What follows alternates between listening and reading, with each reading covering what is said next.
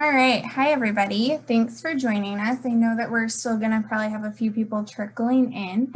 Um, so my name is Sky Story, and I've been running Beta and Brews for the past two years. They're normally an in-person series that happens once a month.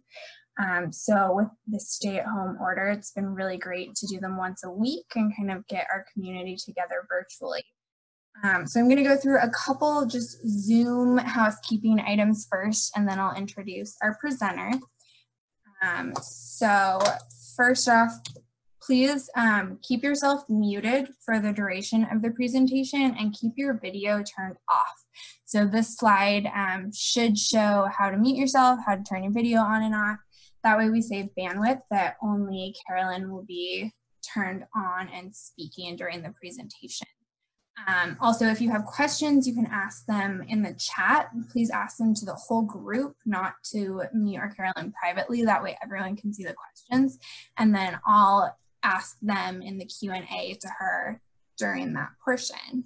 Uh, all right, so this again is kind of showing some more Zoom procedures. If you want to minimize your display, if you want to see anything, Carolyn won't have video going. She'll be screen sharing for this, so you don't really need to see any video right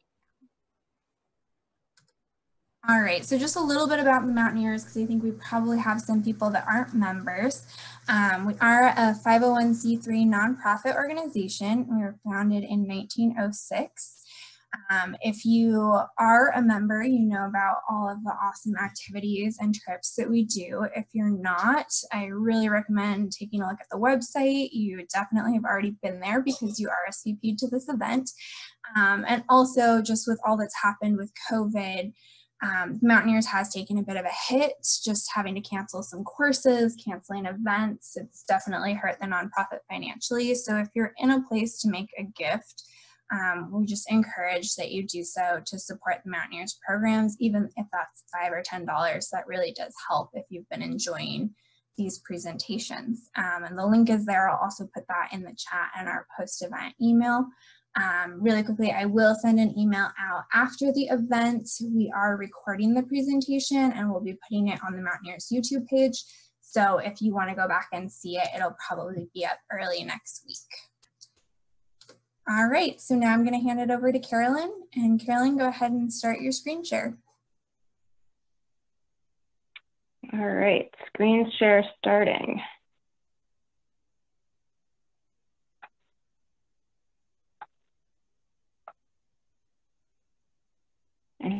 I didn't do that quite correctly. Can I try again?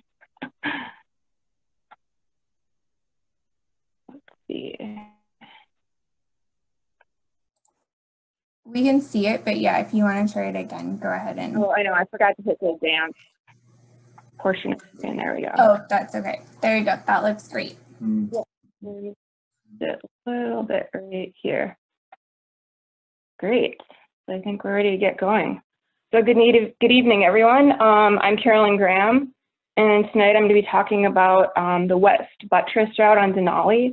This is a climb I completed in May of 2015 as a member of a super awesome all-women self-guided team. Um, our four-person team, you had to name your team when you're on the mountain. Um, so our team name was the Denali Girls, and I want you all to know that um, following this presentation, two of the Denali Girls, um, Meredith Trainer and Jen Carter, are going to be joining us for Q&A. So um, there'll be three of us to answer questions. so I'm looking forward to that portion as well um, kind of the agenda for tonight. Um, these are the things I'm going to talk about. They're all kind of related to our climb, um, research route selection, how we decided how long we were going to climb for, um, how we selected our team. Um, if you're going to climb Denali, there's a fair number of pre-climb logistics that you need to take into consideration, as well as the fitness, training, and technical skill aspect of the climb. And then finally, um, I just have some slides about what it's like to climb. And following all that, we'll have Q&A. Um, so getting started here, um, I included this slide just so um, I think when you go to do a climb you haven't done before, um, how you end up viewing the climb or you know, you perceive it kind of depends a lot on, on like what you know going into it. And so um, when I um, joined this climb in 2015, I feel like I went into the climb with my eyes pretty wide open. Um, I guess I like, I'm a pretty conservative climber and I like to be really well prepared. There's some that I kind of had under my belt um, that made me feel like this was something I knew I wanted to do. And um, I knew all the climbers I was climbing with, and I knew they were all like super bomber gals that I would climb with any day. Um, I graduated from the Mountaineers Intermediate Climbing course in 2011, and I think following that experience, some of the things that made me kind of realize that climbing Denali was something I actually wanted to do was actually some of the time I spent abroad in Nepal and India, where I got more high altitude experience, and I spent um, longer periods of time in sub-zero temperatures, and I decided that that was something that I was okay with and could actually have a good time.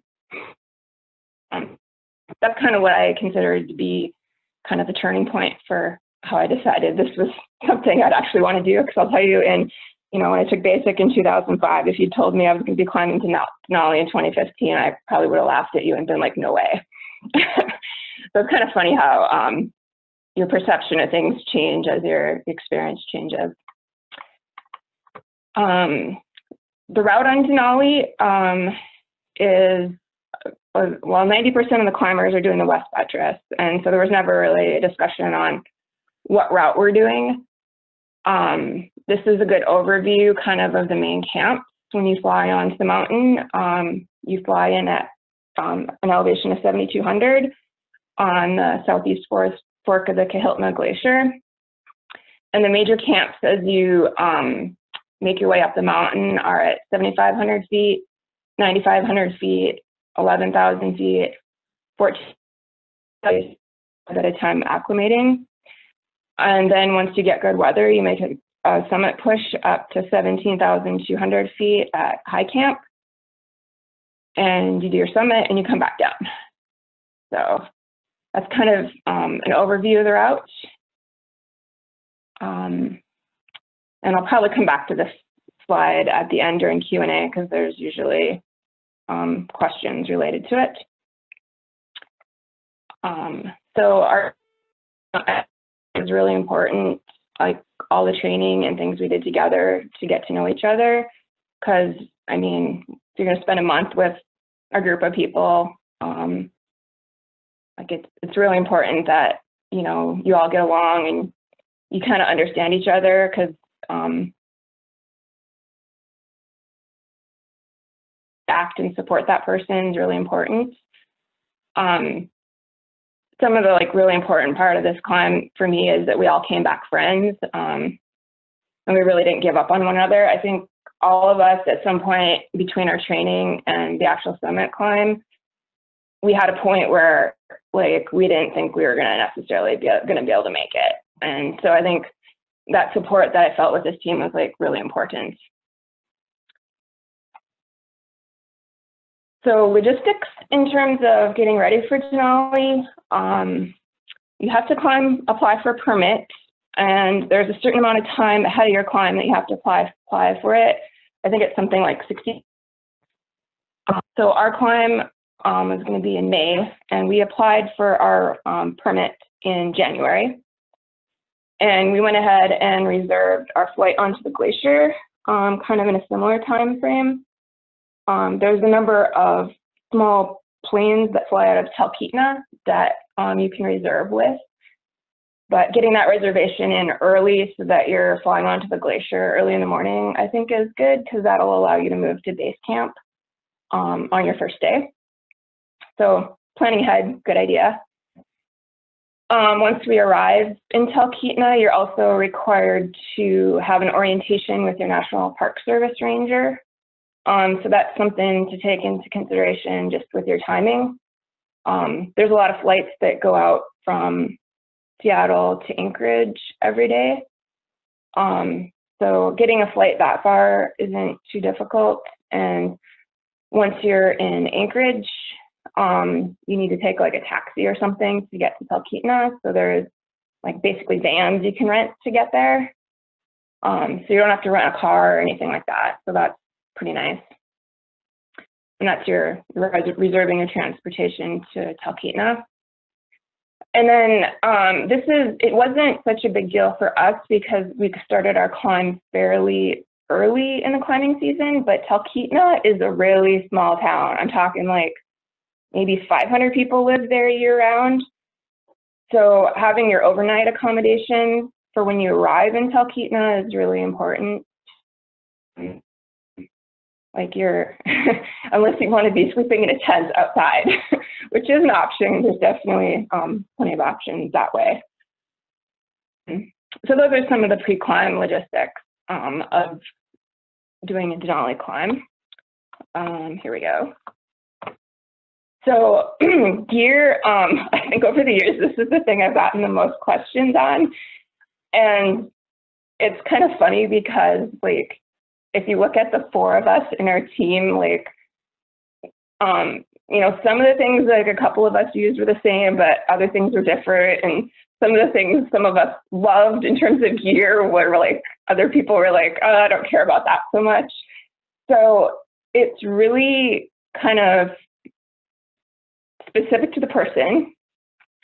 And um, it's also specific to your climb. I think um, our team, we, we used, we benefited from a lot of experience within the Mountaineers and we talked and basically interviewed other other teams and was like, okay, what did you do? How did you take care of this?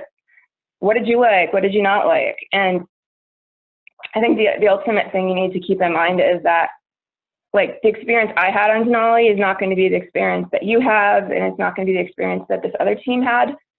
Um, so whether or not you say a certain piece of gear was useful, or you wish you had this, or didn't think you used that, um, those all come to fact into factor in like what exactly your climb looked like.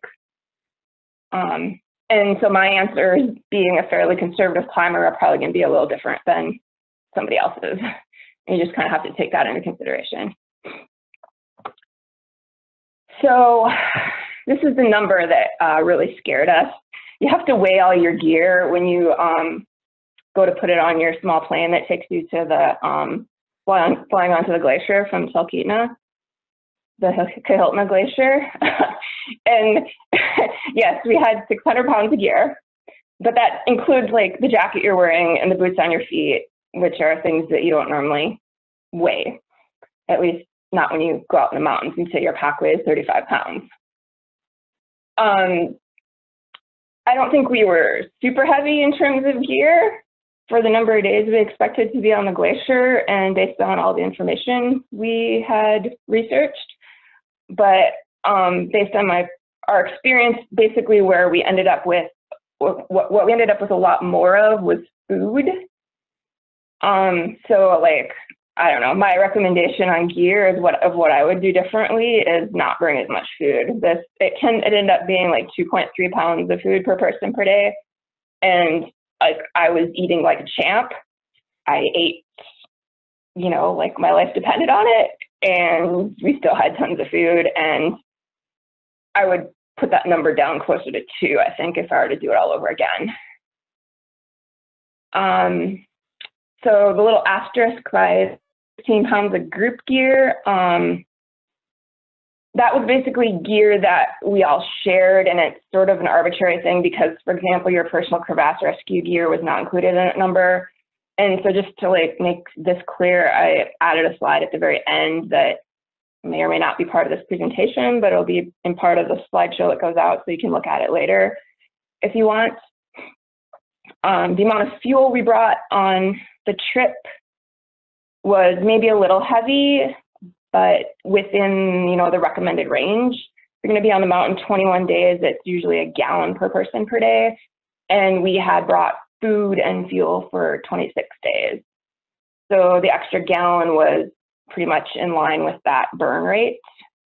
I think the things to keep in mind, um, sort of lessons learned, but also, I don't know, like we didn't want to be dependent on other teams, but you'll hear that, oh yeah, there's a lot of food and there's a lot of extra fuel on the mountain. And that's definitely true. like, especially if you're there early season. So I mean, if you're not afraid to eat other people's food that they don't want, there's definitely food and fuel to be obtained. It just may not be exactly when you want to obtain it, and it may not be. so that was kind of an interesting part of the trip.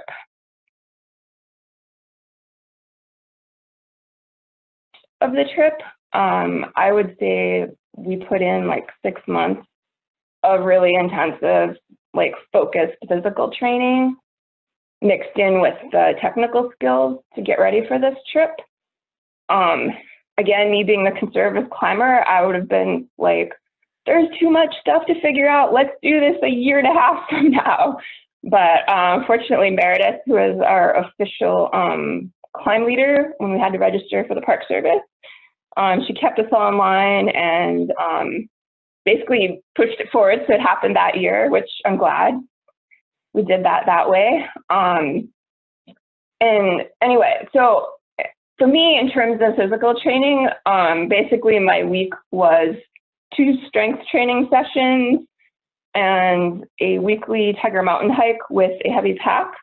And then weekends where we would get out together for overnight trips, probably twice a month, where we worked on technical skills and um, just got comfortable with our gear, like using the tents we're going to be sleeping in and building snow walls and all the important things that you're going to do on Denali with gear that you want to be familiar with. Um, so yeah, I mentioned here on the slide some of the things we did, winter camping, building snow walls. Glacier travel with the sled is very important. Um,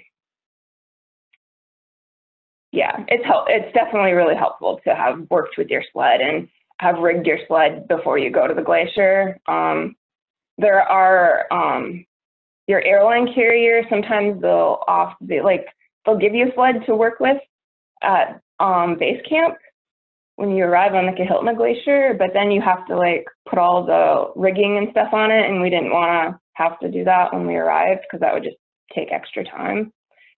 Um, so we used our sled, we brought our own sleds, we had them all rigged, we, you know, we knew our setup that we are going to use so we could just sort of hit the ground running. And our sleds actually ended up being like really useful for transporting our gear. We put all of our sharps inside the sleds and clamshelled them together and duct taped them and they went on the plane um, really, really nicely that way. So um, I was really happy with how that worked out.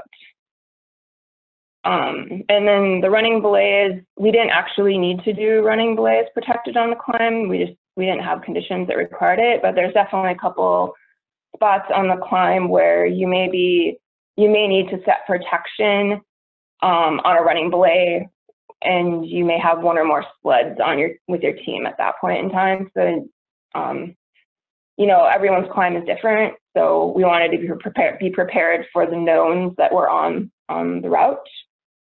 And then in terms of ascending fixed lines, you do this with an ascender, and that's um, there's 800 feet of fixed lines, and I'll talk about that later on the climb.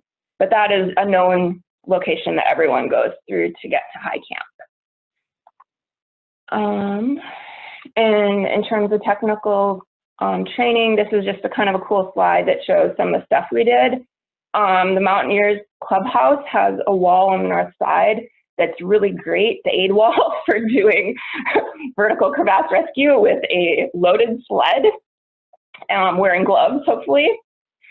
Um, one thing we figured out really fast was that, um, I don't know if you, like you have to learn how to send a rope um, when you're a basic student for crevasse rescue. Um, but when you're coming out of a deep crevasse, um, trying to do that, you, you eventually end up pulling your pack with you. Um, so we kind of realized like with these 50 pound packs, we're not going to be able to ascend the crevasse and be, you know, have our pack come up with us. So we came up with a system of basically um, dropping our pack and not having our pack get pulled up with us as we ascended higher on the rope. We basically had to get out of the system. And we also realized that like while wearing gloves, trying to push um, a Prusik or a Texas Prusik system up the rope was probably going to be pretty challenging. And so like I adjusted my Texas Prusiks and my um, harness um, to be a length that I could use my ascender to grip the rope with so that I didn't have to try to loosen that prusik knot as I was going up an eight dot something something millimeter rope. And um, right, and oh, and so again, being a somewhat conservative climber, I also carried a Mini Traxion, a Petzl Mini Traxion pulley. So my um, personal crevasse rescue system included on um, one of my text prusiks and on, on my waist prusik, um, it was the Mini Traxion pulley with the carabiner through that, so I had a, a handhold. Um, so on the mountain, we kind of had a strategy to basically take advantage of everything we could uh, could. Um, like we're just, I feel like we were just, you know, average people coming onto the mountain, so we weren't going to try to do anything non-standard. So um, basically, we had heavy loads, and we realized like some people do single carries beyond Camp One at 7,800, and we're like, no, we're not doing that. So we basically followed the the normal protocol where you, um, because the 7,800 camp is pretty flat, it's like five and a half miles. Like you drop down a little bit and then you ascend a total of 1,200 feet um, that day. We knew we were going to single carry that, but after that, we were going to cache gear and kind of leapfrog our way up the mountain. There are some alternative camps um, on the mountain that we decided we weren't going to use just because they're, um, I mean, it takes a lot of effort to build snow walls and everything. And a lot of times they're not in a location where you have very good weather. So you would only use them if you're like single carrying up and the weather is great or something. So we kind of knew we weren't going to do that. We were just going to stick with the standard, move to Camp One at 7,800, move to, you know, the 9,200 foot camp, move to the 11,000 foot camp, move to the 14,000 foot camp. Um, and so between each of these moves um, above 7,800, we were caching food and fuel before each move. And you always have to keep like four days of food with you. So you like you move all your food, but then you keep like four days because you may not be able to move camp exactly when you think you may have to be waiting out a storm and that sort of thing. And so on the days that we plan to move, those are the days where you actually have the really heavy loads. So like we tried to like do as much prep work as we could the night before, like we'd melt water and, you know, we cut out a little cupboard in the snow and keep it keep it insulated so it didn't, you know, freeze up overnight. So we kind of had water kind of ready to go in the morning, those kinds of things. Um, one of the things I really like about um, the West Buttress route on Denali is that it lends itself to proper acclimatization when you're just doing the route the way you do it. Um, so like if you just work your way up the route, as I had discussed, um, it basically puts you at the 14,000 foot camp no earlier than night eight. And one of the other acclimatization things is um, that you spend at least five nights at 14,000 foot camp before you move up to 17. Um, once getting up to 17 is pretty commit, committing. You have to have good weather, and you definitely don't want to get stuck up at 17 in a storm because basically most people who get most people who are weighed out a storm at 17 have used up all their food and fuel reserves and are basically out of energy because you don't get any sleep um, to make a summit push. So waiting for that good weather window is really important. On our particular climb, we actually spent nine days at the 14,000 foot camp before we moved up to 17. So that gave me a lot of confidence that we were actually really well acclimated.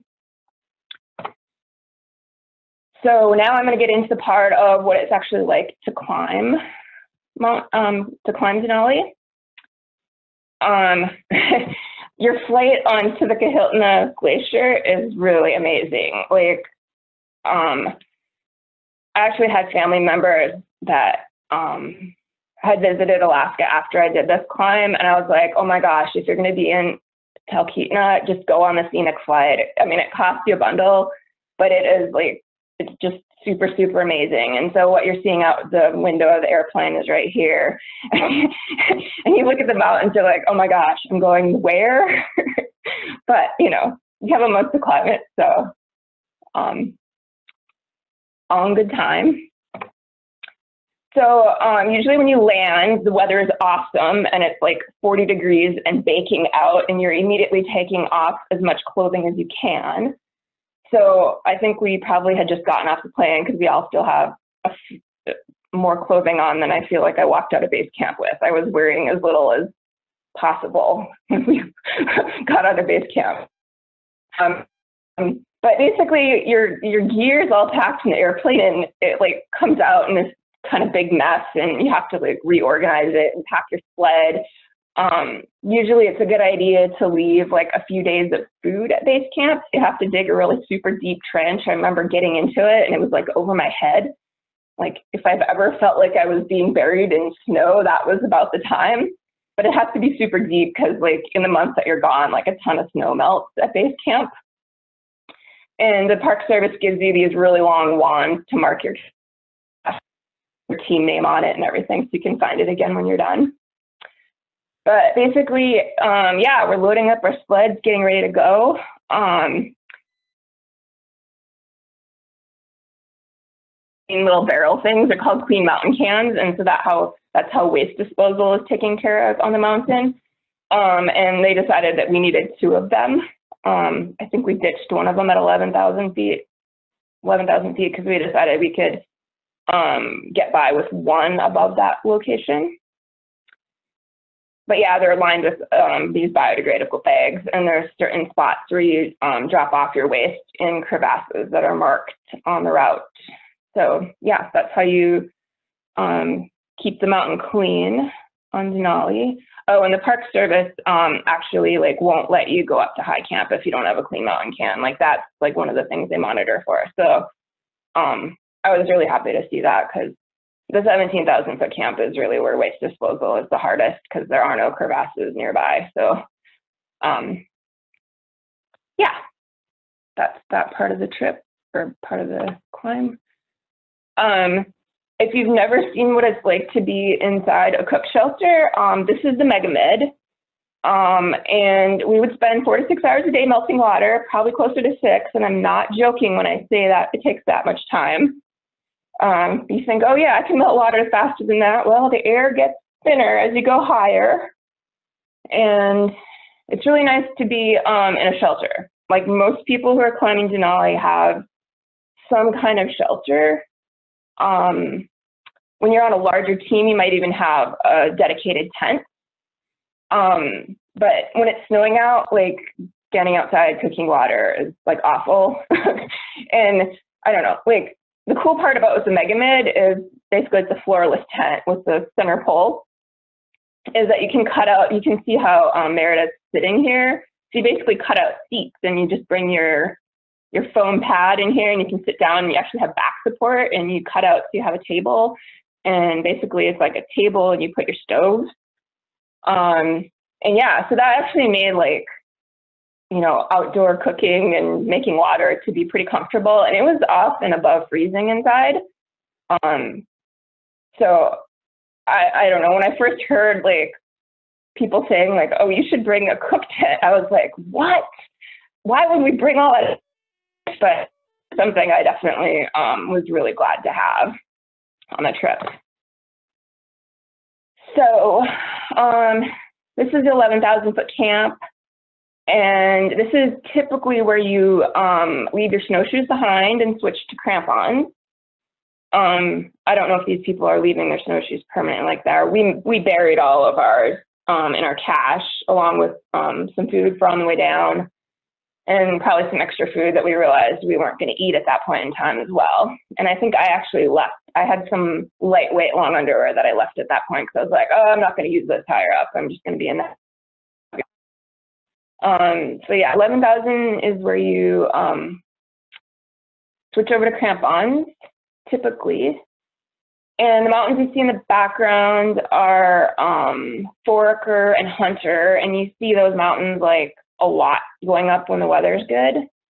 Um, so yeah, just super beautiful. All the pictures are going to be sunny and beautiful because when it's not sunny and beautiful, it's not worth worth taking a picture. Um, and a lot of times getting up to 11,000 feet, going over Kahiltna Pass, the weather is kind of not good, but the route is usually pretty well wanded, so you can kind of move up when the weather is a little more marginal. But above 11,000 foot feet, 11,000 feet, you have to get around Windy Corner, which, given the name Windy, is it's you know probably going to be windy, and you want pretty good weather to go around that. And so this is kind of a cool picture because you can kind of see how, like when you're pulling a sled, it's actually like your body is leaning into it. so it is it is a fair amount of work, especially when you have a steeper slope.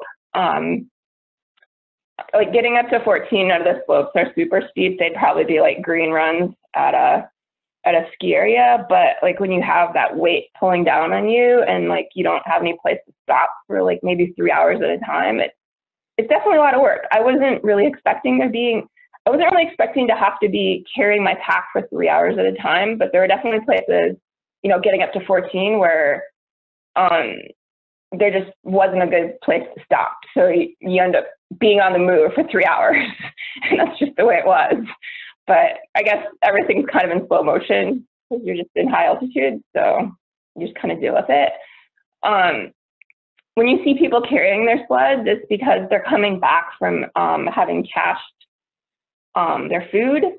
And so um, their sled's empty, so it's just easier to carry it on your back. But it looks kind of cool, like, yes, sled's on your back. They're bright orange. Ah, and here's the infamous windy corner. It was definitely windy the first couple times we went around it. You're gonna pass windy corner um, more than one time on the way up because you're you're setting a cache. We set a cache on the other side of it. And it's kind of funny because like on our way down, it was actually like not windy at all. It was like really nice. We are kind of like baking in the sun. But like this is where you kind of start to see the um the, like this is all blue right here and it's really hard. And then you're like, oh yeah, that's why I'm carrying an ice screw as part of my crevasse rescue kit. Um, and also like the sleds, like when it's really hard ice like that, they don't track behind you. So you're dealing with this sled that's like actually pulling you sideways when you're on any kind of side slope. So this is where like having a sled really starts to be like, oh my gosh. like having some experience on different kinds of terrain with your sled um, definitely pays dividends when you get into this kind of terrain. And so the other part of our strategy um, for climbing the mountain was that we only brought two sleds um, above Windy Corn, above um, the 11,000 foot camp. So basically, the front person had the sled, and then the back person didn't have a sled. And that way, like the two people between them were able to like better control it. Um, and I was really glad we did that because, um, I don't know, there can be some crevasses on the other side of Windy Corner, and I don't know, having to deal with two sleds is just more complicated than necessary. So once we moved up to 11,000 feet, um, we had to pick up our cache, and I think we got a rest day finally. Um, I think we were pretty tired by the time we got up to 11,000 or up to 14,000 feet. But, um, you know, when you have great weather and great views like this, it makes it a lot more fun.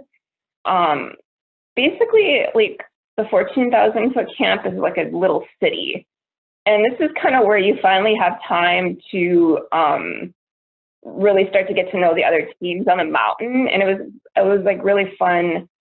Um, like you meet people from different countries. Um, I think as as a self-guided team, you end up talking to more independent climbers than you do guided teams, which is was a little interesting. Um, but it's a really neat experience. It's definitely nothing like climbing in the Northwest where you know, like you're off in this remote area and you don't see anyone for a week. Um, climbing Denali, you have people, there's other people on the route all the time, but and you know you have other people at base camp and they're all like really supportive it's it's it's really nice like when you walk into camp and like people greet you're like hey welcome to camp you know you're welcome to use our um our toilet shelter while you get yours built. I mean, it was it was really great to see how supportive other teams were on the mountain. Um, it's just like really really different climbing than, than in the Pacific Northwest. Um, so getting to um, one of the technical cruxes of the climb, this is, uh, there's a head wall um, above the 14,000 foot camp. Um, it's 800 feet of fixed lines on, I'm gonna call it alpine ice.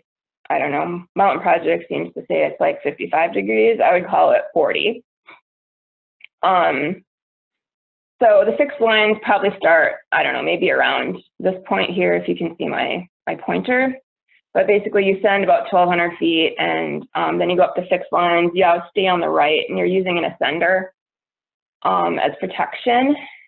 And um, one thing to know going up the fixed lines, you definitely want to like reduce your spacing spacing on your glacier rope to be closer together. You don't want to be like 20 meters apart because that's just way too way too close, way too far apart. But yeah, um, if you've done any alpine ice, there'll be the fixed lines. There'll be like piece of cake, but it's definitely um, hard blue glacier ice. um, but yeah, steel crampons on Denali for sure. So um, once we, um, um, so our summit strategy involves caching, placing a cache of food at 16,200 feet at the top of the fixed line, which is what a lot of people do. Um, basically, while you're hanging out at 14,000 feet waiting for your weather window, um, it's not uncommon to just you know, like even if you only have half of a day, like you take a hike up 1200 feet, come down. Um, it's good just to like get a little exercise each day and um, maybe take an extra lap up the six lines, depending on how much time you have. Um, but yeah, this is a cool picture because you can see camp down below, and then the ranger tents are over here. And um, so like the ranger tents have the weather posted every morning or in the morning. So you go over there and you can read the weather forecast if you didn't get it on the radio the night before. Um, the rangers are out. They come through the camp sometimes. Um, when we had gotten up to 14, basically nobody had summited the mountain all season because it had been just really bad weather. And some teams were actually starting to head down because, um, you know, their amount of time on the mountain was up. And the Rangers hadn't moved up to 17 or anything yet. Um, but all the ranges are really nice. You know, they'll talk to you and you can ask them questions. They're really good, good resources of information. Um, next slide. This is another view of the fixed lines looking downward. Um, and you can, I guess what I wanted to point out is like most people like actually face outward going down. So that's why I say I think it's probably more like 40 degrees, at least when we were there in terms of the slope of the ice. Now for the part of the climb that I actually like the best, above 16,200 feet and getting up to the 17.2 camp, um, you follow this ridge that's just really beautiful. Um, there's a lot of places where it's like, there's a lot of exposure. I mean, it's class three. You're kind of going over some rocks. There's like a bit of a fixed line right below Washburn's Thumb here. But the rest of it, there's like places where you can clip into pro. Sometimes you have to provide your own carabiners. So we had, you know, like a dozen or so carabiners that we brought for that purpose. Um, and we rearranged our ropes so that we had 20 meter spacing. We had two 40 meter ropes. So one person on the end coiled 20 meters. Um, one of the people in the middle tied into both ends of the rope. And we had basically, we were maximizing our spacing so that we always had at least one piece of protection clipped in among our team. And this is just another picture of that beautiful ridge um, getting up to high camp.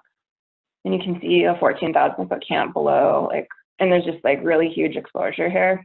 I wouldn't call it knife edge, but like, like you want to trip over your bootlaces or anything because it could be really bad. Like people have you know, drop packs or down down, down onto the glacier like on the other side here and it's not like that's really bad you do not want to end up down there like you may not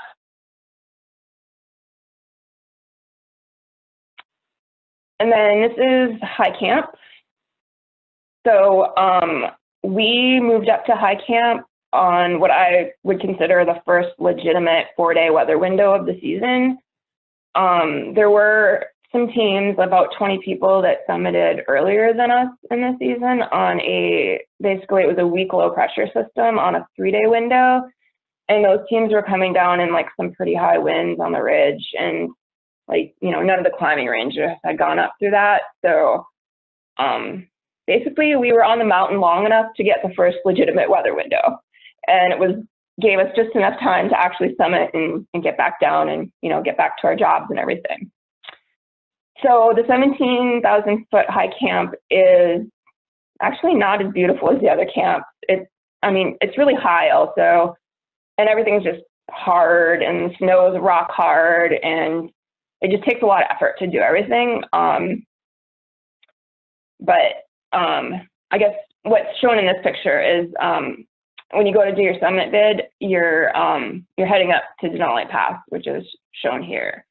And it's kind of funny because getting up to Denali Pass is like only a thousand feet, but when you're that high on the mountain, it takes you so much longer to get up a thousand feet just to that next that next part of the route.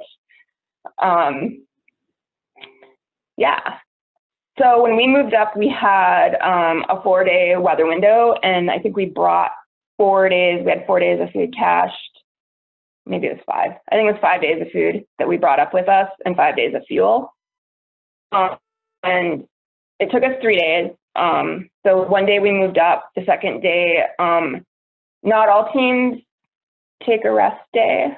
Um, so I'm sorry, our summit our summit was four days. So one day to move up, um, so your four days of good weather is one day to move up, get your tent set up. Your second, your second day, you can back carry. We picked up our cache along the way. So we just used that day to rest and to build snow walls. And like one of the books I had read about Denali was basically said that if you're strong enough to get up to high camp, you're strong enough to summit. So I don't know. I use that as, you know, kind of a, a ruler. Like, you know, did we feel okay getting up to seven? Okay. So you know, if we feel okay on summit day, then we're all going to the summit. And so that's kind of what ended up happening is, you know, we had our day to rest and build the snow walls and get everything ready. And so then on the third day, um, we went up to the summit and came back. And then on the fourth day, we moved back down the mountain. And so I don't have a lot of pictures higher up on the mountain because my camera stopped right here working because it was like frozen. but this is above Denali Pass Zebra Rocks. Um, so Denali Pass has um, fixed protection that the Park Service maintains. Um, the fixed lines are maintained by the Guide Service. So going up Denali Pass, um, it it was pretty steep, hard snow, but there was kind of a track, um, I guess, kicked in. So like kind of like on Rainier, like when you have a track kicked in, it's not as difficult to navigate but we definitely clipped into all the protection again on the 20 meter spacing um, because you know there's there's not a lot of forgiveness on how hard the snow was and the angle of the snow and everything. Um, and so a couple there's a couple places on the way up the mountain also that have um, some pickets to clip, and you can kind of see here where there's um, some fixed gear, and we just we just clipped everything that was there. Um, so on some, you, you, there's usually not an alpine start for Denali because really you could climb it at any time of day because it never gets dark, which is another kind of weird aspect of the climb. Um, like when you look at gear lists, like home, and I, I know being from the Northwest where I climb, it's like, what? Like, that's like one of the 10 essentials. You can't not have a headlamp. so I think, I know I brought a headlamp, but I definitely didn't need it. I thought maybe I'd need it in a snowstorm or something, but I never needed it. Um, anyway, so you don't start, you don't need to start super early in the morning because Denali Pass is actually in the shade. So getting up earlier is not necessarily beneficial.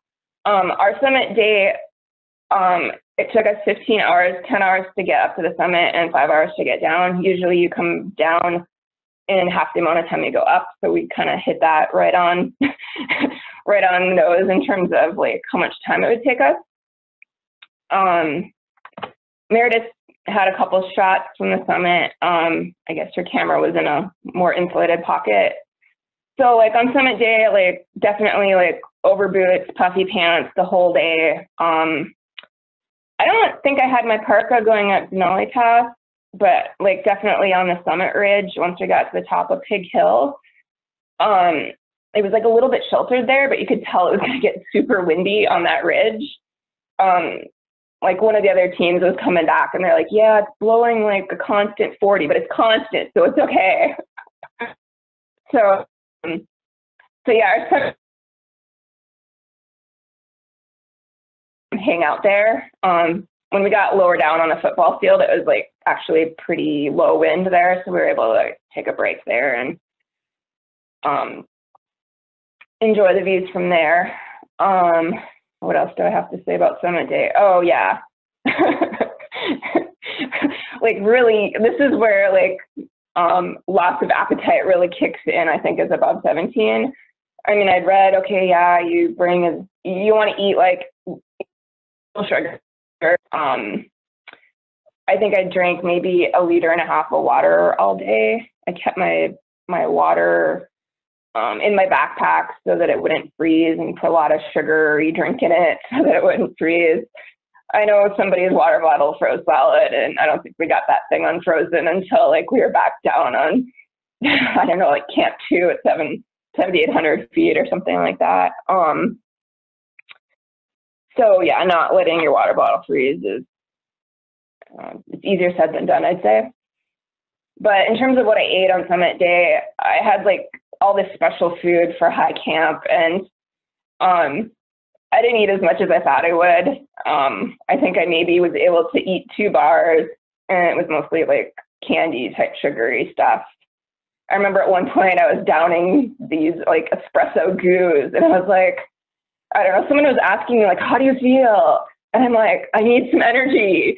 And even the espresso goo just didn't feel like the energy I was used to. But um, we all made it to the summit and we all made it down and no one got frostbite, um, no cold fingers, toes, or any of that. So I'm really happy. That was kind of really important to me. Um, I think it also helps that the year we were there, it was probably warmer than it normally would have been in May. So there's a little luck in terms of like whether you actually can summit on Denali is like because you have to have the right weather. And I forgot to talk about this. Forgot to talk about this in a little bit in the beginning, but um, we kind of decided on taking four weeks off of work to give us um, the most number of days on the mountain. And so we actually ended up being on the mountain for 25 days, um, using all our days plus an extra half a day. um, and I have another slide here that just kind of summarizes some of the things that all have to kind of line up for you to have a successful summit. And, you know, having the right weather, I think there's definitely a luck element. Like some years are just better than others. Like you could do all the things right. And if you're not on the mountain during the time when there's a, a good weather window, um, it just might not happen. Um, so these numbers are numbers that, um, in terms of like training and how much I spent, and those are numbers I crunched for myself. Um, and obviously, depending on what gear you own and um, what you're able to borrow, you're going to come up with a different number. Our team was able to secure some discounts on pro discounts on gear, on gear just from people we knew and from using the Mountaineers. Like I think it was like it was Experticity or Promotive. I can't remember which it was back in 2015. Um, and then just borrowing gear as well. And we try to just to maximize all our options in those that respect. Um, yeah, that kind of is a summary of what it takes here. Um, people like to ask about sleds and gear here, and I just pointed out some different things. Um, when it comes to sleds, there's like more than one right way to do it. Um, I think the website Alpine Ascents International, their outfit has a good, a really good article on different things you can do with your sled. Um, but yeah, wasn't one right answer for a lot of these things. And depending on who you who, you- who depending on who you talk to, you're gonna get you're gonna get different answers. Um, so yeah, this is just kind of a summary of all the things you have to do with your 25 days. Um, and really a lot of it is you need the time for acclimatization and then you need the time to move between camps. And when you're moving between camps, you're really moving through weather systems. You're kind of like to climb in Alaska, you have to be a patient climber is what I've read a lot. And so when you're moving up on Denali, you're like you're moving when the weather allows. And so like you're not you usually don't get like five you know five or six or seven consecutive days of good weather for you to be able to move up really fast. Um, so that's what kind of takes up a fair amount of your time on Denali. Um, and also moving is I don't know moving all that gear up is just really exhausting. So like I don't know when we had a, when we had a weather day, it was actually kind of a welcome rest day. so it wasn't I don't know. I, I never felt like I was spending a lot of time stuck in a tent, not having anything to do. Um, when we came down from the summit, we were hit by a storm and we were able to descend as and to be honest, like all of us were just super exhausted um, from being that high. And I never thought I could sleep so much. Like, I think we ate at most twice a day. and we would just like, you know, you know, shovel out the tent every once in a while.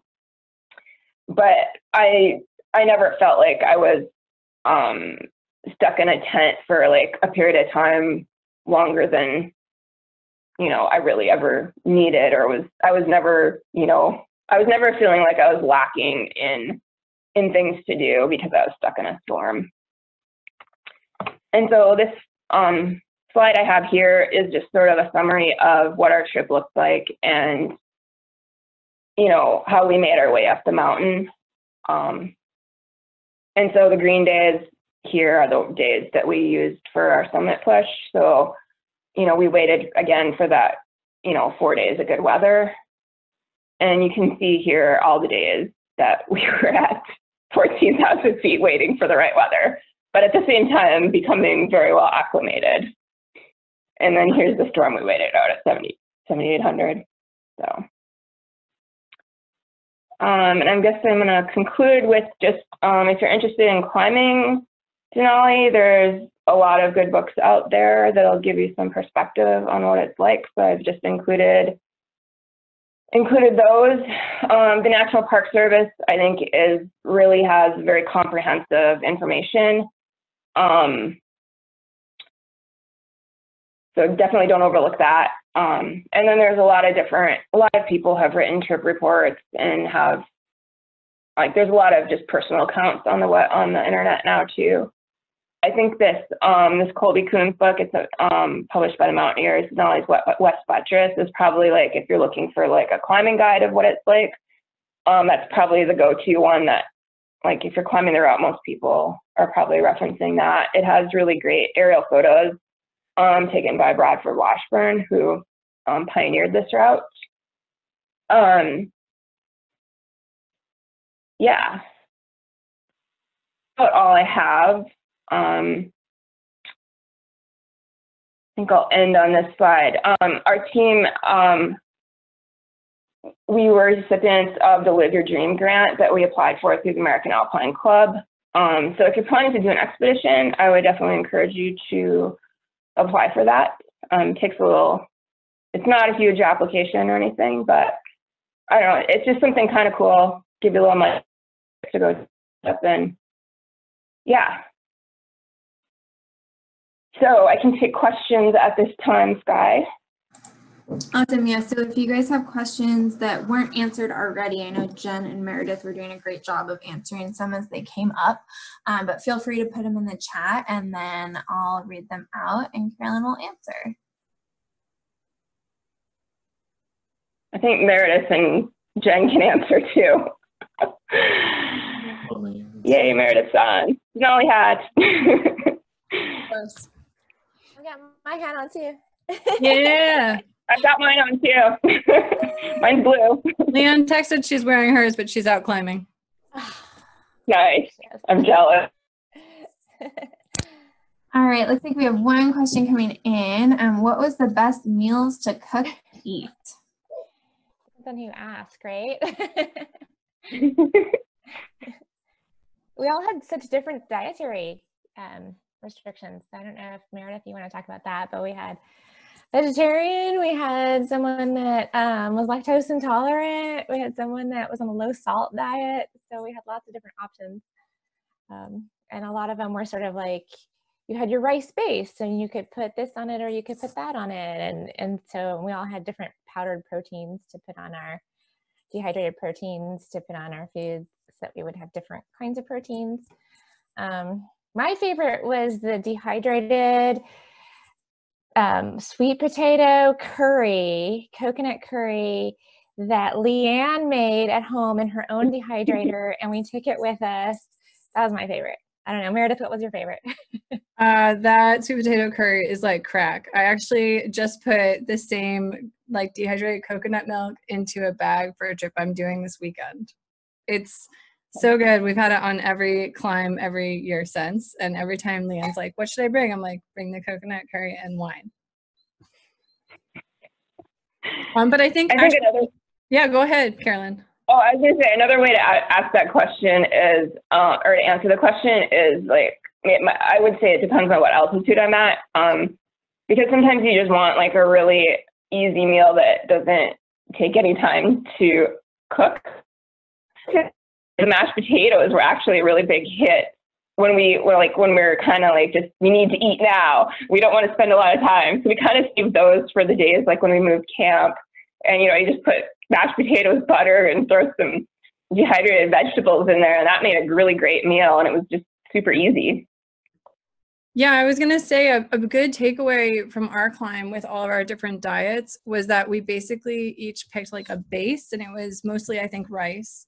Um, and then we made sure we had a protein. And so for me, as a, I can't remember if I was a pescatarian or vegetarian when we climbed, but mine was beef TVP, like a dehydrated beef product. And I still use it. It's Thrive is the product. Um, and I just packed it today again for a trip this weekend. Um, and being able to kind of like each have the same meal but in our own way really helped us i think each get the food we needed and feel healthy on the climb That's awesome. Those all sound really good. Um, all right, another question is Was there anything that you would have done differently, either in preparation or on the climb itself?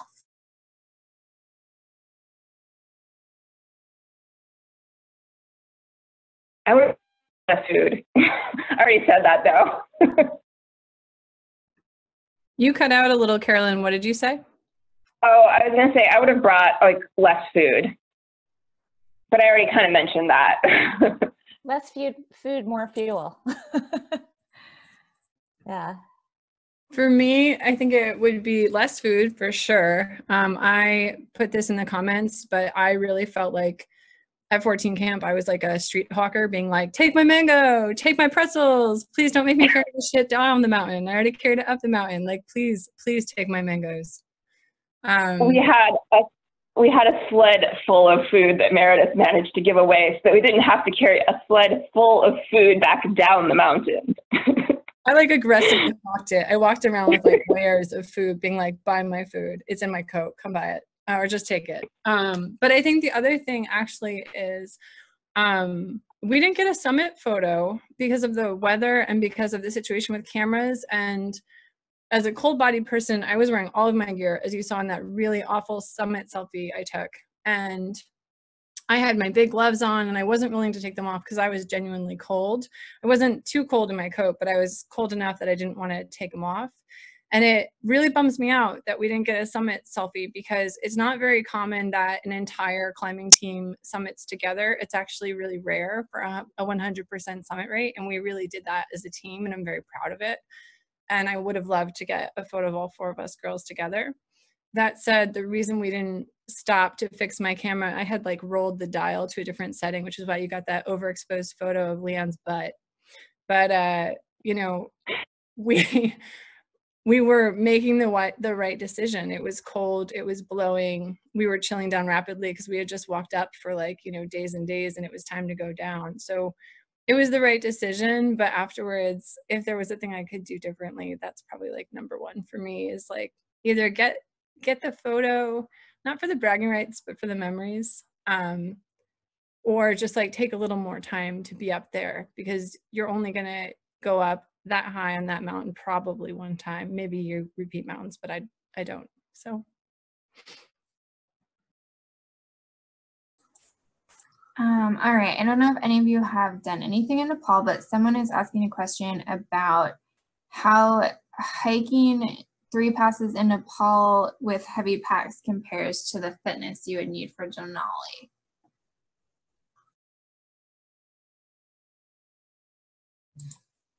That's kind of what. I- Um, Carolyn. so I've I haven't done all three three of the passes, but I've done one of them.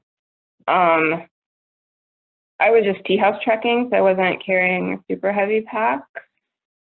Um, I'd say it's definitely good preparation being high.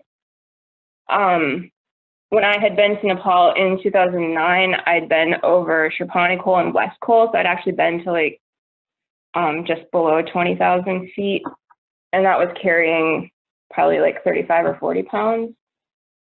Um, so you definitely get a feeling for how slow you move.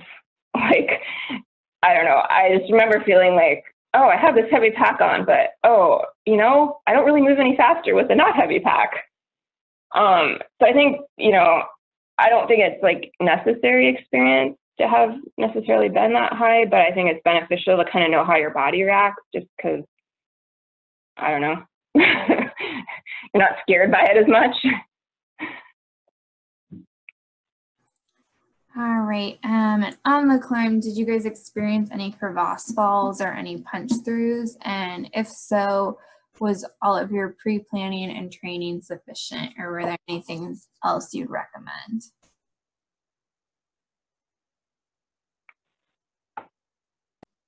Anybody else want to answer? Yeah, I don't think we had Jen? any any crevasse punch throughs or anything. I mean, we saw a big hole where obviously someone else had fallen through and been rescued, but we were like days behind that. So, um, yeah, yeah, we didn't have any trouble. That's good. Yeah, and I'm I think. I think a factor for that was the time of year that we climbed. I think Carolyn mentioned early in the presentation that we went kind of early in the season. And I've planned Alaska Range climbs since then, which have not worked out. Uh, and I think a takeaway is with climate change, the season is moving earlier and earlier. And so you The earlier you get in there, the more snow there is on on all the snow bridges, the, the more consolidated things are. So you're you're gonna have fewer um, punch throughs. I don't remember seeing that many on the way out, but we walked out in pretty inclement weather and I honestly had eyes on the prize. I was like, I mean, French fries this weekend, it's happening. So it wasn't, you know, we weren't like, I was safe, but I was not really like, I wasn't touristing at that point. I had a place to go. And I will add that like crevasse danger is like everywhere. Like you go to set up camp and you're probing um, just to know what's underneath you. Like it's not something you can take for granted just because you don't see over open crevasses. The crevasses in Alaska are way bigger than the crevasses here. I think one of, the, So- one of the scariest things is dropping off your poop bags into the crevasse they have designated for the poop. So you seriously have someone like belay you to the edge of the crevasse and you drop your poop bag in. It's so scary. It's terrifying. So Jen, one of the things I was thinking about the other day is like when we were coming down to the 11,000 foot camp, things were starting to get pretty melted out there. And I remember like, I think we were just using someone else's pee hole. and she came back, she's like, my gosh, I needed to go on belay practically to go pee because it, it just melts out so much. so gross. Not for the anyway, it- yeah, it, things are definitely getting melted out as you get to the end of May and into early June. Yeah. Um, all right. Uh, did you bring solar panels to charge your phones or cameras? And if so, did they work well? Yeah, the solar panel that we had worked really well. Um, Mike, As long as it wasn't snowing. as long as it wasn't snowing, as long as there was solar to be had. my camera froze up, so I, I, the cold just zapped the battery, and I couldn't really use my camera. So, but I have a cheap ass old camera, so maybe buy a better camera. I don't know. I think that's a good thing to know about, like from Leanne's perspective, if she were here. You know, she's someone who listens to music to decompress, and it's kind of she's more of an introvert than like I am, for example. And so, as some as an introvert, she found it you know helpful to listen to music but as a result that solar panel was very important to her because her ipod was tied to you know that solar panel doing its thing um, you know all each of us had different strategies like jen just pointed out. Like i bought a new camera for the trip and then i mostly kept it off unless i was taking a photo and kept it like super buried to keep it warm enough. But as a result i have fewer photos and they're not that great of photos. So you know like that awesome summit shot. One thing I would have done differently is I would have I would have used one of those sunny days or partly sunny days. We had at 14,000 feet and like fully charged my Kindle because I think after we had in snow and I don't know, I think after, I mean, I think the cold, sto- storing them in the cold um, kind of drained the battery because I do kind of wish my Kindle battery wasn't dead when we were at 7,800 camp for three nights. And I think that was a function of just not really like paying attention because I hadn't really been using it through the trip. And if I'd paid attention and noticed the battery had um, gone down, I probably would have charged it before we went up to high camp. All right, um, this is a good one. Do you find Rainier as good training grounds for Denali? And if so, any particular route?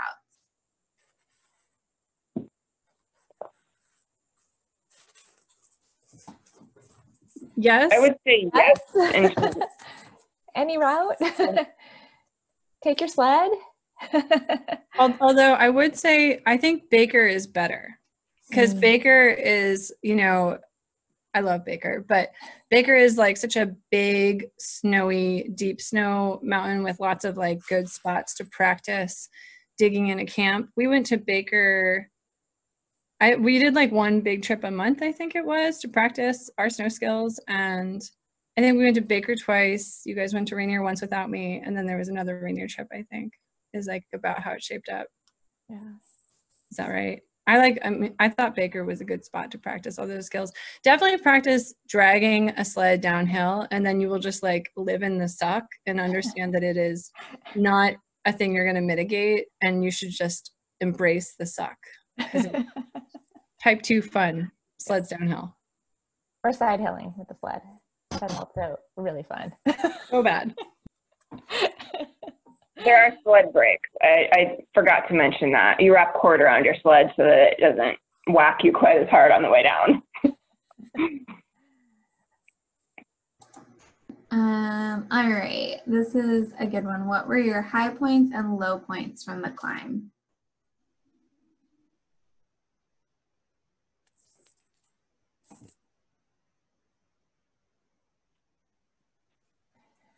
Hmm. I think my high point, I agree with Carolyn when she said that the ridgeline above 14 camp, above the fixed lines, is like the most amazing place in the world. and I go back to that place in my brain all the time. I love that place. Um, I think the low point for me was when the storm came in and we were trying to fly off the glacier because we had already finished the climb.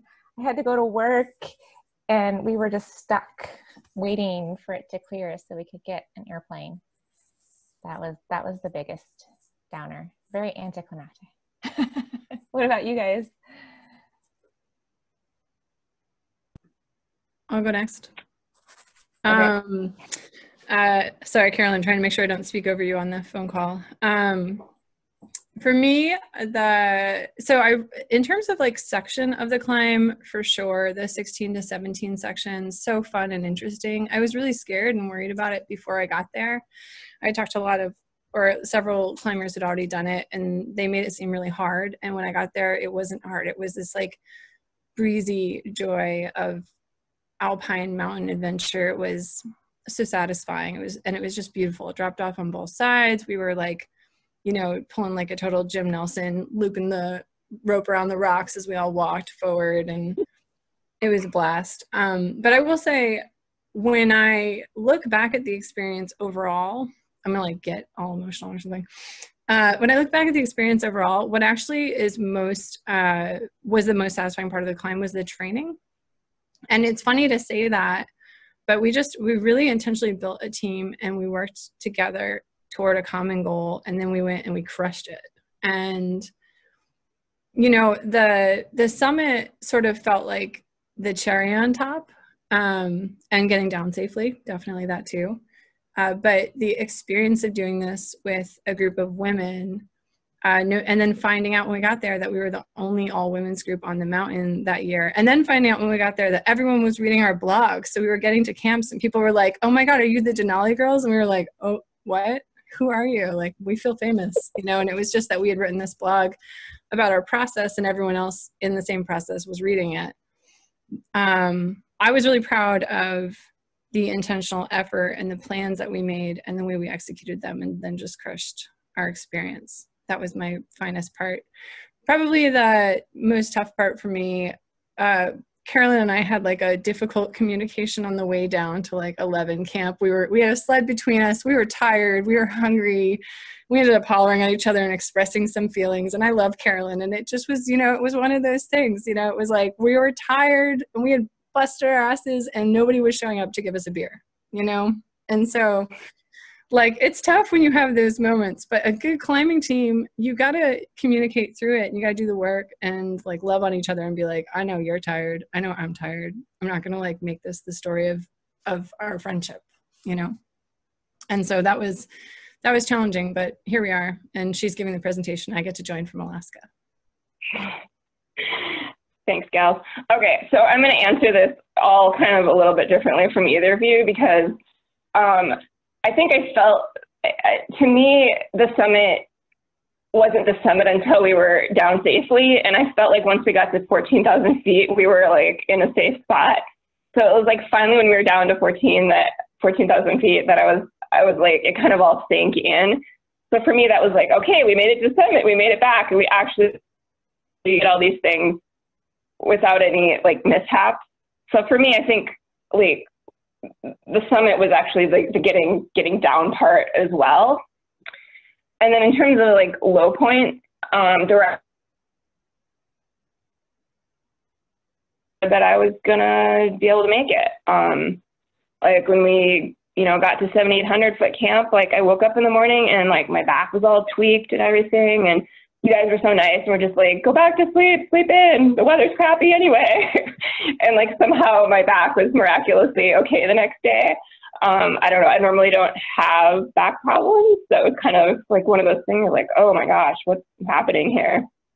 And then the other time, I don't know, we were just going up the lap up to the base of the fixed lines. And I just, I, I don't know if I like, I hadn't slept well or if it was just really hot in the sun, but I like, I just was not feeling it. I was like, I don't know, like I I need to go back to camp. I don't I'm not like there's no way I can go to the summit like this. And like Meredith was super supportive and came back to camp with me and made sure I rested in the tent and didn't bother me. and you know, like I was fine and it, it just, you know, I think having a team that really supports you when you're having that low day was really um, critical to our climb and making it this great experience. All right, couple more questions. Um, this is a good one. You kind of touched on this, but maybe not completely. So why do you leave your poop bag in a crevasse? Um, is that an issue that there's a lot of climbers up there? It will be as the climate continues to change and all of our old feces melt out of the glacier. But um, so you're going to poop a lot because food and elevation and um, the historic thing to do at some point became that you take this the bucket i forget what the canister is called you guys but um, that that carolyn pointed out in her description of the gear earlier and you put a decomposable bag in it and then you just use it like a toilet. It's in its own little um, snow bathroom and when it gets full or you're moving camps, uh, you walk to a designated hole that leads to a big glacier that the park has chosen and you drop it in. it feels like a it's a it's it's really gross. It's like next level gross. Like you're looking at the composite of like all of the poop of everyone you're on the climb with. You know what they ate? It's bad. It's bad.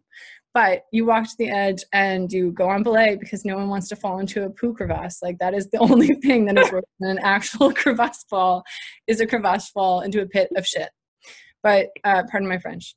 But the idea is that it would be very difficult to take your feces all the way up the mountain and all the way down the mountain. Or if you left your feces in one place like a dog poop bag on a hike you might overlook it on the way down and then you'd have poop everywhere. And then each year you know you're getting the composite of snow but then new new people arrive and they don't see what all was there last year and they're digging out snow for drinking water right? You don't want that to be where you're gathering your drinking water. So putting it in one place has historically been the best way to manage it. That said i bet in the future there's an innovation that isn't that That was a really great explanation, though. Thank you. Um, all right, two more. It looks like. Um, did you guys hire a weather forecaster? Um, you don't you don't need to because um, the Park Service at 14 um, announces posts the weather every day. So yeah. So if you bring a, an FRS radio, um, they announce the weather forecast each night, and it's actually pretty funny to look at because you'll see all these people at whatever it is, eight o'clock or whatever, walking outside and holding up the radio high in the air. So hopefully, like, yeah, just like Meredith is doing. And, and they do trivia. They have a trivia contest after they announce the weather. So it's like this big fun thing to listen to the weather every night from the Park Service. And it's like it's like watching someone try to get cell service in like 1994 like it's but it's like 40 people doing it and then when one person gets it the whole group like shushes everyone else really aggressively. It's like a life it's a it's a cultural experience. So I guess I will answer the question a little bit differently for, than you two did, though, because um, so in 2015, I think that was like the first year the Garmin InReach was really widely available, and I remember kind of wishing that, um, like I guess in retrospect, if I knew like how functional it was in terms of getting a forecast from someone from the outside, like you don't have really good uh, radio reception um, in some locations going up the mountain. So I think I would have spent the money to have that um, had I known it was available. Um, but like when you really need to know what the weather is, you need to, like the place you need to know what the weather forecast is is at 14, and you, can always go read the signboard over at the ranger station. So that being said, it's kind of more of a luxury. Like you know, it's like if you want to spend the money, great, but you don't really, really need it. and i would Because- uh, go ahead Gar- Carolyn Yeah, because you have you have the forecast. Um, there's was, not like a reception issue. I was just going to add that if you're an all-female group you can also just flirt with a guide from the guide group and they just give you the forecast which wasn't a thing that we did at all ever but i understood it could happen Yeah. okay, um, that's awesome. Um, okay, couple more. It looks like um, how did the altitude affect your team, especially because this was higher than Rainier and maybe some of where you trained?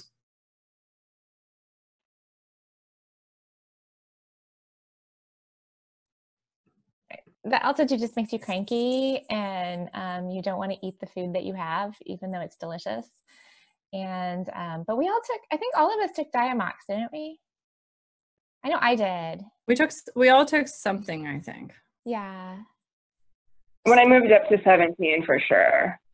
I don't know that I used it very much lower down because you're you're acclimating. The the route lends itself to proper acclimatization.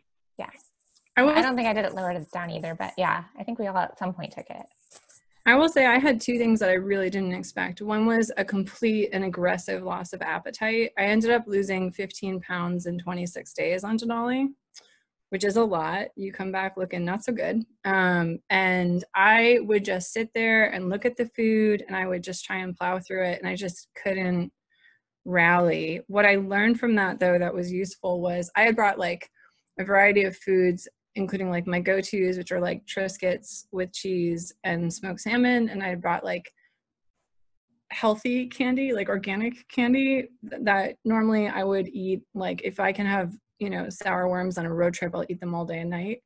And I had no palate at all, no sweets at all. I was like, I don't even know why sweets exist. Why would I want sugar right now? And I just wanted, I could do the Triscuits and I could do the cheese. I couldn't do like anything grain based.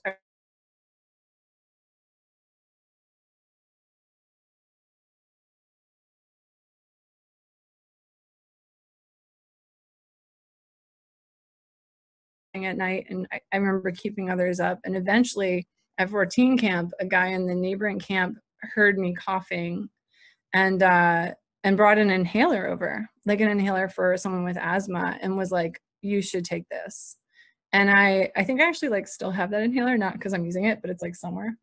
Um but that cough really sucked and that cough plus a loss of hunger uh, was I don't remember like feeling completely depleted, but I remember not feeling quite as perky and energetic as what I had trained for. And that cough ended up lasting, I think, for a few weeks after I got back. Like it was pretty hardcore. I'm going to jump in and piggyback off of what Mer- Meredith was saying a little bit, just because I had a slightly different experience. Um, I didn't really, the altitude in terms of hunger didn't really hit me until 17. Um, so I kind of ate like a champ. Um, but at the same time, I had picked up a little bit of a cold. And so I had a cold the whole trip. So that was always in the back of my head like, oh my gosh, is it like, am I having a bad, you know, am I having a bad altitude reaction or am I more you know, am I more predisposed to altitude problems because I have a cold? So that was one thing that was kind of always in the back of my head because I had picked up that little bit of cold the whole on the whole trip. And I think when you start when you go to altitude and you have any kind of cold or any little wound on your hand, it kind of just stays there until you go back to the land of milk and honey.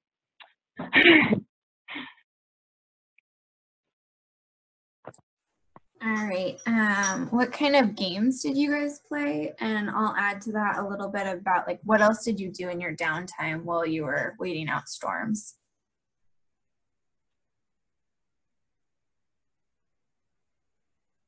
I, I think we played What's in My Backpack at one point in time. uh, I don't remember I mean, any games. we all had uh, Kindles. I read like three books. when we got stuck at 7800 on the way out, like when we thought we were going to get out that day, and then instead it was three days later, you all did play like I Spy or What's in My Backpack, and you tried to get me to play, and I was like, no. uh, I was I was not in a I was in a like very like I will just sleep for three days kind of headspace, but for me, uh, I I read uh, I think it's Parting the Waters. It's this like 1,000 page Martin Luther King like biography. It's a great time to read a long book that you think would be really interesting if there were no other distractions. Great. I I've pretty encyclopedically.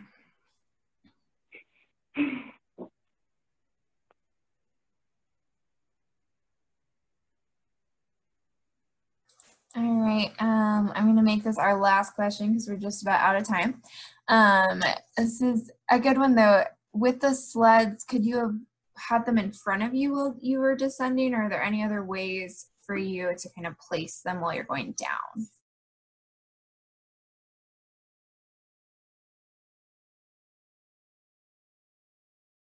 I think I think we tried to put them in front of us at one point, didn't we? or we had no choice. They were in front of us at one point. I think I think our, our most useful strategy was when we had the sled between us on the way down so that the person in back can kind of be the brake of the sled. Mm-hmm. I think that's the, was the most successful strategy, if I remember correctly. I don't know, Meredith, do you remember? We we tried everywhere you could put a sled, and sled suck. Um, but on the way down, because we cached two sleds at I think it was eleven thousand feet, um, on the way down to, until 11,000 feet, we had just one sled between two people. And that definitely was relatively more manageable, but it does require a lot of coordination between those two people.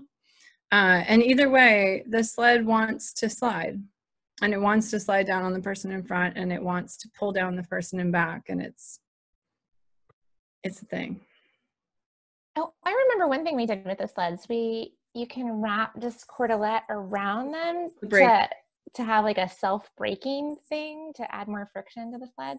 Yeah, I'd forgotten about that, but yeah, we did that a little bit. Carolyn, you sled were- Yeah, the sled brakes I think were pretty important on the steeper part coming down from 11,000 feet. I, I just I remember seeing some people coming down and seeing some epically uh, twisting and sliding sleds that sometimes like detached themselves from their owner. Like it was painful to watch. That's that's a good point, Carolyn. Better to have a brake than no brake for sure. Like I think that's actually a really good takeaway that I don't think I would have summarized that way, but that's that is huge because if you have no brake, then you're that owner being like, shit, there goes my stuff. And I, and I think the uh, the ideal situation is that you can just keep wrapping cord until you have the right amount of friction. But the right amount of friction always is changing. And so, like in an ideal world, it would be just enough friction so that you're barely pulling to pull the sled downhill. But it never quite works that way.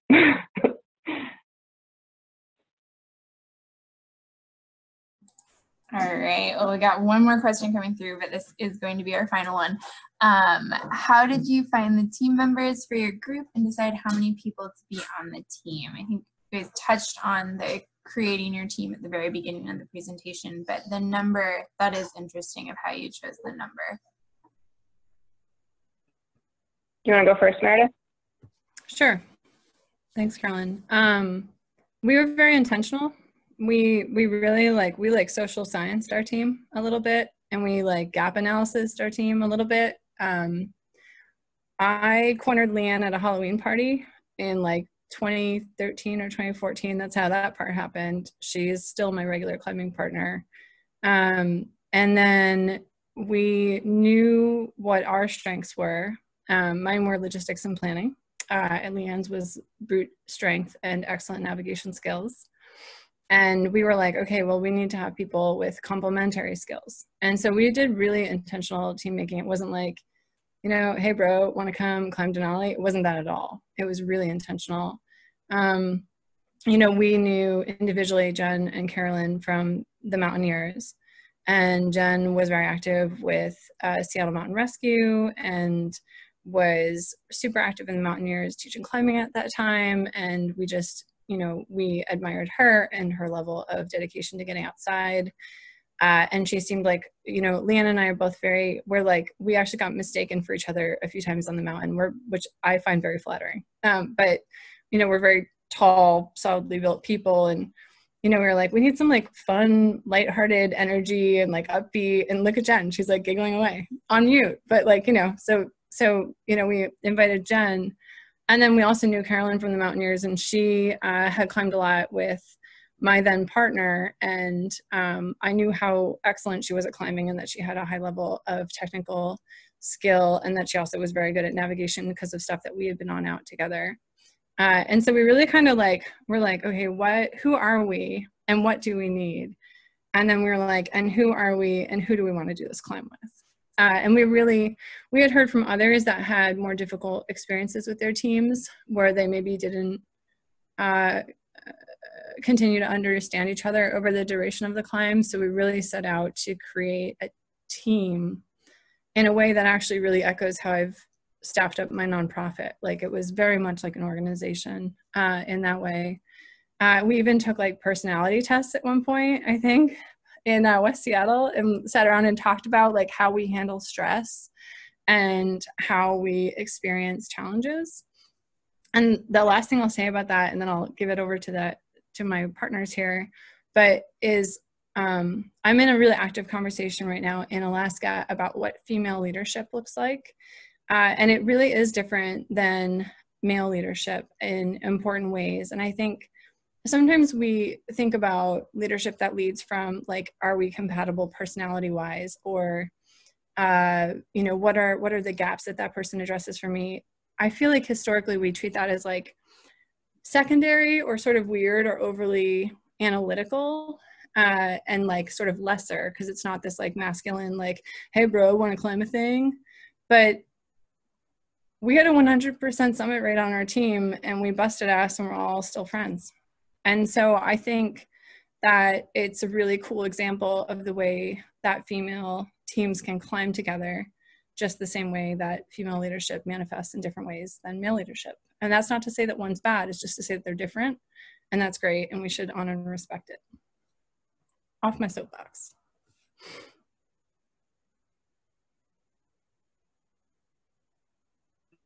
Someone else say something. well, I'll just, I, I, I love your soapbox, Meredith. It's awesome. but um, I think I heard and or read somewhere that the number one reason that that people don't summit Denali is because of team dynamics. It's not conditions. It's not your fitness level. It's because your team falls apart. Um, so that was something that Meredith was really good at was assembling the right team and leading that team.